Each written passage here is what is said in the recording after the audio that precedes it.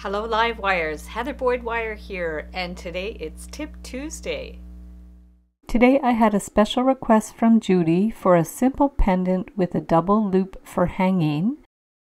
I am using the Beadalon 20 gauge square German wire, the nipper tool, the slimline chain nose pliers, the slimline round nose pliers, and the new bail making pliers from Beadalon.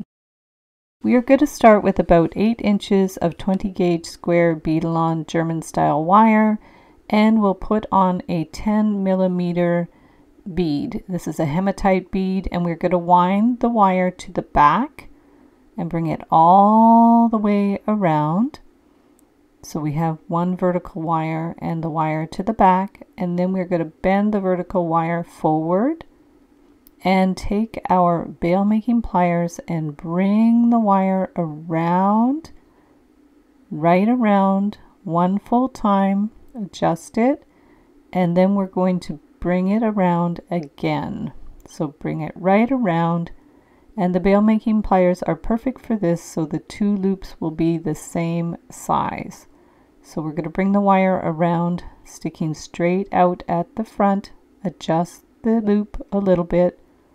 So just make sure it's nice and even and then bring the wire around to the back while holding the loop with the pliers. So remove the pliers and clip that end with the nipper tool and then just use your flat nose pliers or the chain nose pliers just to push in that end. Now we're going to bring the other wire around to the front of the bead. So holding it firmly with your thumb and finger, bring the wire around to the front. Just check that it's in the good position, push it around, keeping the wires as pushed back as you can, and then just bring it right around again to the top.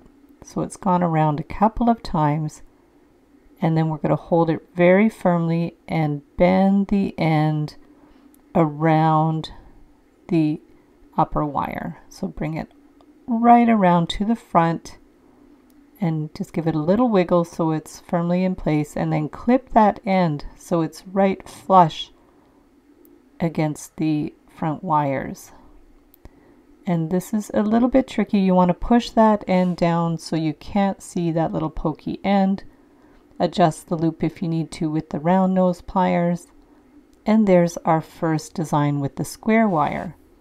Now you could do the same with 18 gauge round artistic wire we're putting on a 10 millimeter miracle bead and we're going to bring the wire around to the back again holding it firmly as you do the twisting bring the vertical wire towards the front and get the bail making pliers and bring the wire around so we're holding it with the pliers and bending the wire with our fingers to bring it around into a loop just keep wiggling it and adjusting it so it's in the position that you like. Bring the wire around a second time to make the double loop all the way around towards the front. Now hold the loop with your bail making pliers and bring the end around to secure it in place. So just keep pushing it until it's in the right place. Remove the pliers and get the nipper tool or your flush cutters to clip that end.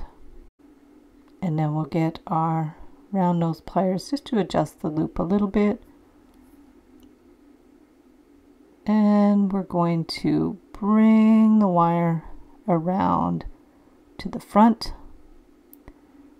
Make sure you're pulling it nice and snugly, holding the bead firmly with your thumb and finger and just work your way around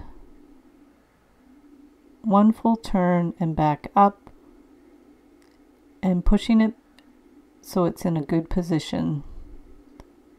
So now it's up at the top. You might have to push the wire back a bit to show more of the bead.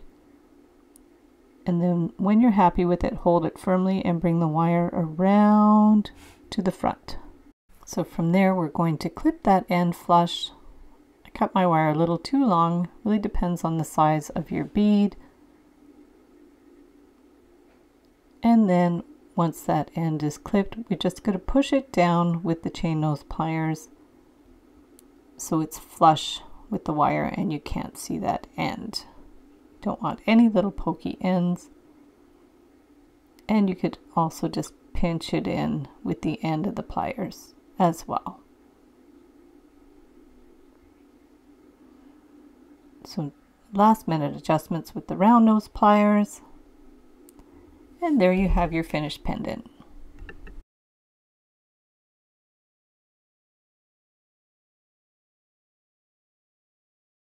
So thanks so much for watching the video. Give it a big thumbs up if you liked it.